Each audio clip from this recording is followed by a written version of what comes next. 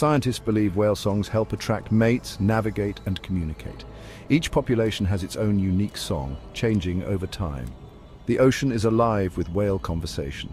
Their intelligence and communication reveal a sophisticated underwater society. Whales have two very different ways of eating. Baleen whales are filter feeders. They swim with mouths wide open, straining millions of tiny krill and fish through their baleen plates. Blue whales can eat up to four tons of krill a day using a dramatic lunge feeding technique to engulf huge swarms. Toothed whales are hunters, catching fish, squid and even seals.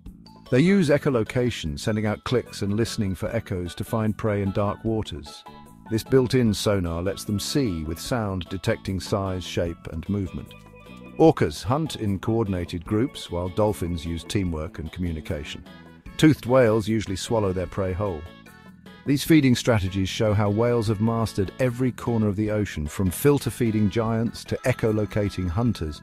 Whales are perfectly adapted to their diets.